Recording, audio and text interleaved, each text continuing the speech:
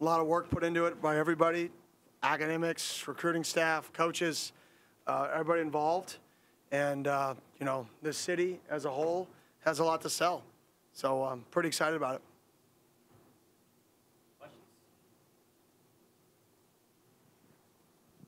No questions. All right. Coach, when you look at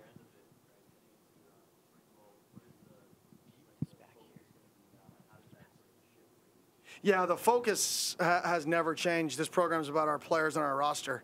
Every kid I talk to in recruiting, every kid we bring in, it's about the people on our team. Same thing I tell our coaches. It's about the people who choose to be Sun Devils.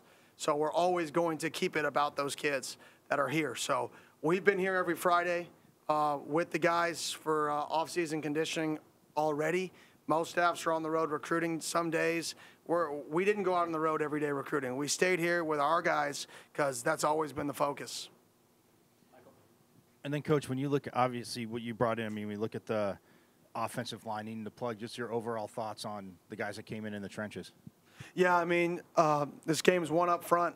You know, you got to have big people that can move people. It's a, it's a pretty simple game. I mean, you want to move the ball forward, you have to probably move a person forward, right? So we want to get big people that can move people. Jordan, then Lena. Hey, Coach Jordan Ham, Sports 360 AZ. Uh, in terms of Jaden's recruitment, um, you know, can you just kind of take us through the steps once you knew he was available, and then what he can bring to the field? Yeah, I mean, obviously, Jaden and I have a relationship that goes far back, and uh, it's been a really natural and genuine relationship. You know, throughout his entire process, he would ask me questions, uh, even a- after he committed to other institutions. Uh, and he would ask me questions, Coach, what do you think about this? And I was always just a uh, sounding board for him. I mean, that's really what our job is as coaches. Is you're not going to get every kid. Uh, you're not supposed to get every kid, nor does it work out like that. And uh, my biggest thing is to keep relationships with these guys and be a sounding board for them. And uh, in this situation, you know, that came back to a situation where he, you know, got back on the market, and there was a period of time for about a month I couldn't talk to him, and then he got back on the market. He hits me up, "Hey, coach," and you know, it just from there it just happened naturally because our relationship had always been natural, genuine, and I would continue that relationship even when I knew that, or I thought I wasn't going to be able to coach him, and uh, here we are today. And what makes him su- just such a unique quarterback? He's just a great person. Uh, you know, you get caught up in, you know, media is media. Y'all are part of the media. So, uh, you know, the narrative is the narrative, as the narrative is what sells. And I think sometimes when you get caught up in a narrative that's fun to write about, you know, your name can get put in ways that it shouldn't. And this is a really, really good kid who wanted to be a, an Arizona State Sun Devil, whose dad played at Arizona State, who grew up wearing jerseys, who wrote his dad, drew a picture and gave it to his dad when he was eight years old of him playing uh, at Sun Devil Stadium. It was in pencil. He showed it to me. This is a kid who gets to live out his dream, and that's pretty special. Lena, then Michelle. Coach Lena Washington, 12 News. In addition to all of these young men that you've brought on, you also had DJ Foster join your staff. What does his addition mean for this program? Well, he is living proof of concept. You know, we want to keep kids here. He's the proof that if you come here, you will be a legend. And it's funny because every kid walks in here, they go, "Oh my gosh, that's DJ Foster," and I and all these Arizona kids, it's like, I know, that could be you. This is the this is proof of concept. The fact that you came in here and see DJ Foster and you feel some sort of way about DJ Foster is exactly how people can feel about you. No difference.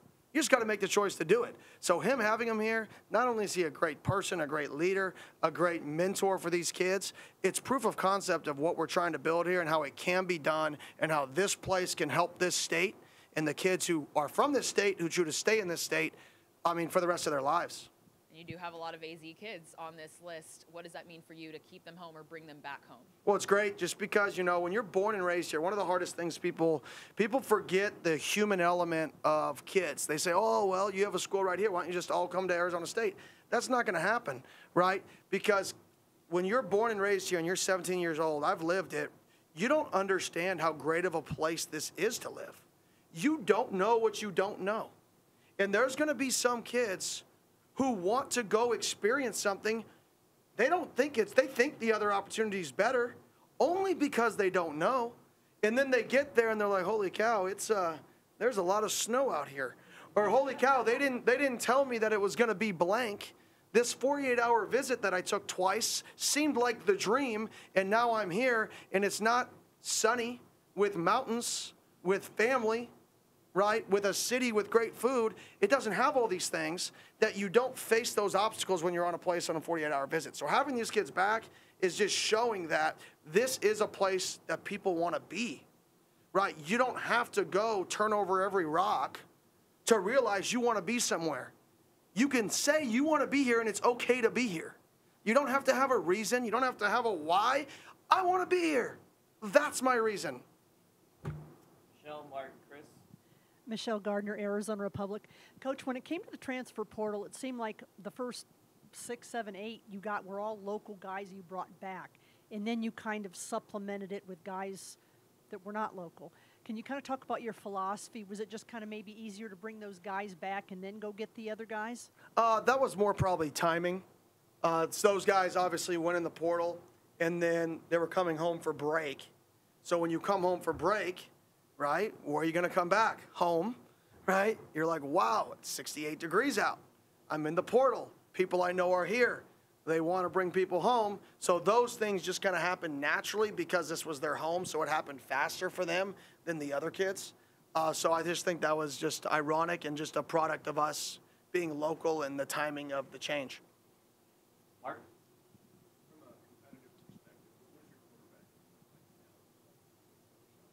Competitive. I think you, I think you chose the right word. It's uh, it's a group of people that are going to compete, but the goal is to compete to make each other better. That's really the ultimate goal. Is I tell people all the time, your goal should not be to play as a true freshman, or say I want to play as a sophomore, or I want to do blank as this. Your goal is to say, when I leave here, am I the best I could possibly be? And if you leave a place the best you could be, then you're going to be more successful than you would have been if things were promised to you, handed to you, or if you didn't have the competition that pushed you. So, sharing the vision and teaching our guys, this isn't about how quickly you can play, right? This is about how can you grow, how can you be better, and then when you get your opportunity, you're better. Huh. Novel concept. So let's just work together, compete versus each other, right? And when you get your opportunity, you're going to be a better version of yourself. Chris,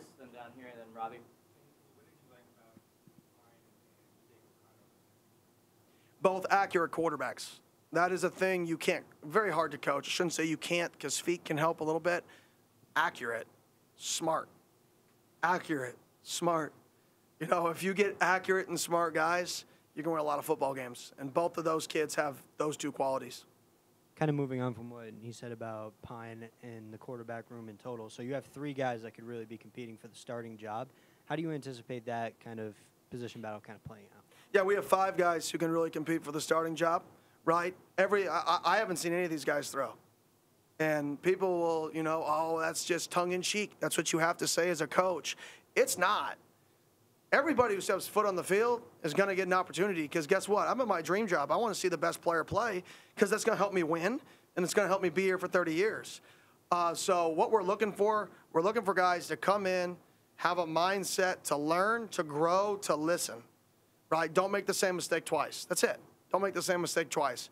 And that includes somebody else's mistake. You might, you might not get the rep, but you heard me coach somebody else, or you coach Coach Baldwin coach somebody else. Did you learn from that rep, and did you grow? And that's what we're looking for. Robbie and then Colin.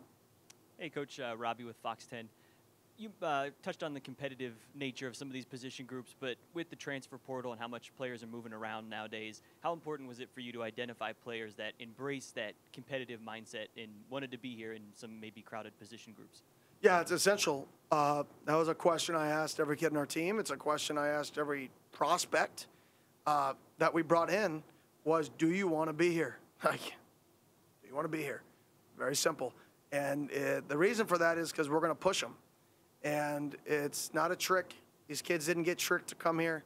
They didn't get promised playing time or promised anything other than an opportunity to be pushed to a level they've never been pushed, but also understand that they're going to have a coach that has their back and an environment that you can have a lot of fun getting better.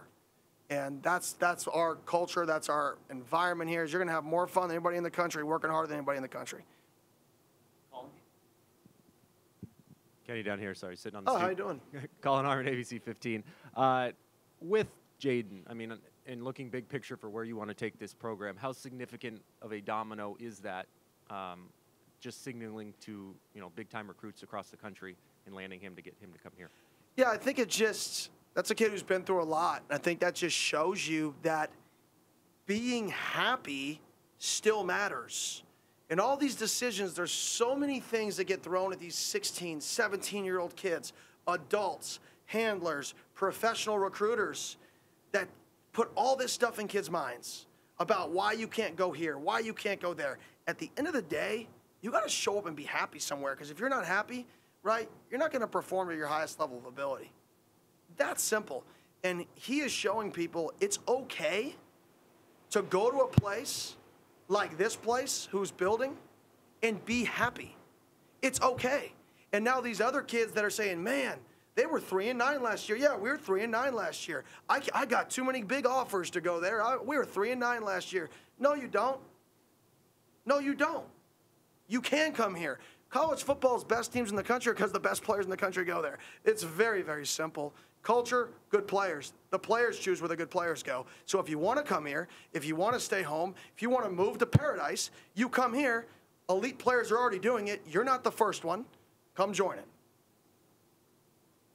Nina? You're always trying to get the best players available. How much more movement or additions do you anticipate between spring and fall? Probably not much between. Uh, I mean, it'll it'll depend on post spring. I shouldn't say not much. It's just you never know. I think that's a. I couldn't give you a realistic answer there until after spring ball, but I feel I feel like we filled a lot of needs. Uh, we got to get better always, but uh, we'll see where you know what's that saying? Where the wind blows, right? Coach, in terms of uh, Bram Walden, you recruited him in high school, you coached him at Oregon, now he's at Arizona State. Where have you seen him take that biggest step, and, and where can you see him continue to grow?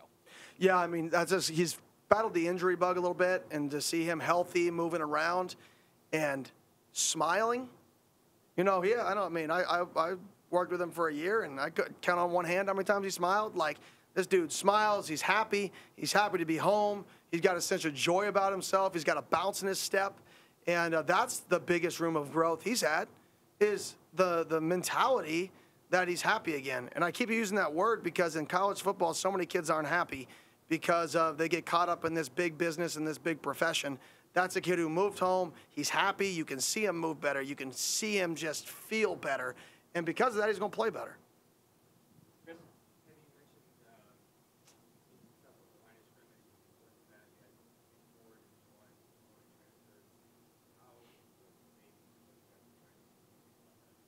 Yeah, they're going to be essential to what we're trying to do.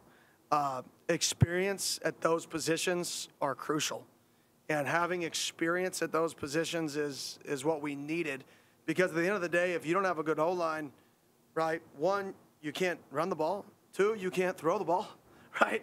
It's pretty important. Three, you can't get the D line better because they can't work. Four, you can't work pass rush or developing routes in team periods because you don't have time to throw the football. Everything has to be skelly. So when you really look at it, you have to have an offensive line in order to run productive practices that make the other 20, what, 27 guys in the field better. So it's an essential position to have the vets there. Tim and then Jake? Tim Healy, ASU Radio. Kenny, I was talking to Coach Ward just now, and he sounds very excited about the potential of the guys you brought in in the defensive front, especially at the edge position. Can you talk about those recruits and how you feel they can contribute? Yeah, we, we brought in quite a few. I think the honestly the the culture and the type of player we're always trying to bring in there, and you can see that with all those guys, is they can affect the quarterback. Right? Those are guys that are probably on the smaller side, all of them, as opposed to the bigger side in this league at defensive end. Right? They're twitchier. They're guys that can play up the field and rush the passer. Right? This league, more than any league I've been in, is a quarterback driven league. And because of that, defense has to be played in more of a pro style mindset. And when you play defense in a pro style mindset, you have to stop the run on the way to the quarterback, right? It's not stop the run, then go sack the quarterback. It's sack the quarterback and on your way to him, stop the run. And all of these guys have that that build, that athleticism, and they have that swagger about themselves to go sack the football.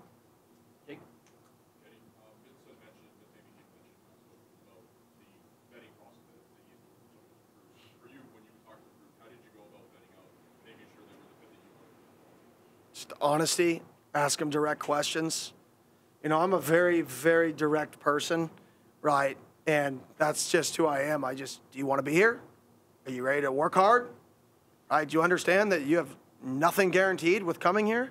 Like people always think you get in with these guys and you, you hype them up and you make them feel good when they leave a meeting. No, you leave a meeting with me and you're going to be put into reality of what this actually looks like when you show up. Because we're Arizona State. We're going to get players who want to be here. That is going to happen, right? Is it going to be you? Well, that's depending on how bad you won't be here, right? So I would just say honesty and being direct. And I think that's how I am with our current players. That's how I am with the staff. There's really no sugarcoating things. It is what it is. If you don't like what it is, change it. Pretty simple. Ella? We know the goals when you go into spring ball is going to give you guys looks, improving, having fun working hard. But as far as your perspective, broader, broad, what do you expect spring ball to reveal about this team, this group that you guys have? Adversity, response. You know, we're going to put these guys in positions to fail on a consistent basis. And we want to see how they respond, right? We want to see how they respond again and again. We want to put them in situations where they're successful. How do you respond? Because it's easy, easy, easy to be successful and respond poorly. So that's what I'm looking for. I'm looking for how this team meshes, our basically our competitive nature. Do we compete? If you lose a rep, do you hop your butt back up? Or do you just go to the back of the line? Like, do you have a passion about yourself to win? Like, the goal of the game is to win. So, what is our competitive nature that we're going to be? And how do you respond when things go your way? And how do you respond when they don't? That's what I'm looking for. No, I know Camp T is important to you and a lot of these guys on this staff. Where are we at in moving that forward? Is it going to happen this year? Yes, it is going to happen. So, going to Camp T. Are we invited? Uh, I would believe so. I don't see why not. Right, that, that's uh, where's Coach Butterfield? That'd be Coach Butterfield's decision. Mark? when, when it comes to the spring game, is there a message for fans and people that are coming down here for the Pats run? How, how what the kind of atmosphere you'd like to see at that? Yeah, a game day atmosphere. It's going to be fun. We're going to create a fun environment that's engaging to people that are there. You're going to want to be there, right? I have a few things that we're not going to say what we're going to do, but you're going to want to be there. If you're a, if you're a student, you definitely want to be there. If you're a fan with little kids, you want to be there. If you're, an adult that just ran Pats Run, you want to be there. You want to be there. Point blank. For me, I need you there, right? If we want to win at a high level, we're going to have prospects there. In order for us to show that we're invested at a level that we're competing to recruit these kids against, we have they have to see it. I can tell people that we're activating the valley. Great. Sounds really good as a hashtag, right? Unless people show up, we haven't activated crap. Right? So, how do we do that? Show up. I don't care if you're one person coming by yourself, it matters. You matter. The one person matters that says, oh, it's just me. No, you matter. Because if 20,000's just you show up, right, we're going to have 45,000 people there. If 20,000 people say, oh, it's just me, right, then we're going to have four. That was bad math, right? But you all get what I'm trying to say. Michael, Coach, for the spring, for spring too, I mean, obviously, putting in offense, stuff like that, what kind of pace are you looking to go out with that, like installing? the Yeah. And even the defense too, what kind of pace, I mean, the players, for you guys to see what you have? Yeah, that's a good question. Uh, I would say everybody has a plan for how you install it. Great coaches change that plan based off who you're coaching. So we're doing meetings right now, and we'll work, you know, all day on how we're going to install this, right? And probably 60% of it will be different, right? Because once we get in front of the kids and we coach it, and we say, okay, well, we're this group is struggling with this. We need to slow this down and install it two days later. I would like to say, in spring ball is for teaching football right? So football is you have the new systems; those are languages, right? Rosetta Stone, right? We're Rosetta Stone right now. We're going to teach you zone is called right, whatever chair, right? And that means everybody's going to zone step to the right. But if we go rolling chair, it's outside zone, right? Whatever that is, right? I want to teach kids football and spring ball. What is a thirds drop? How do you middle correctly versus four verticals? Versus zone with a wide linebacker, how is that going to change our double team? Is it? Right? Why is it going to change that? Is it going to change your landmark? So I'm going to be more focused on teaching kids football than installing our new version of Rosetta Stone. Rosetta Stone, you can go to NIL Collective if you're interested.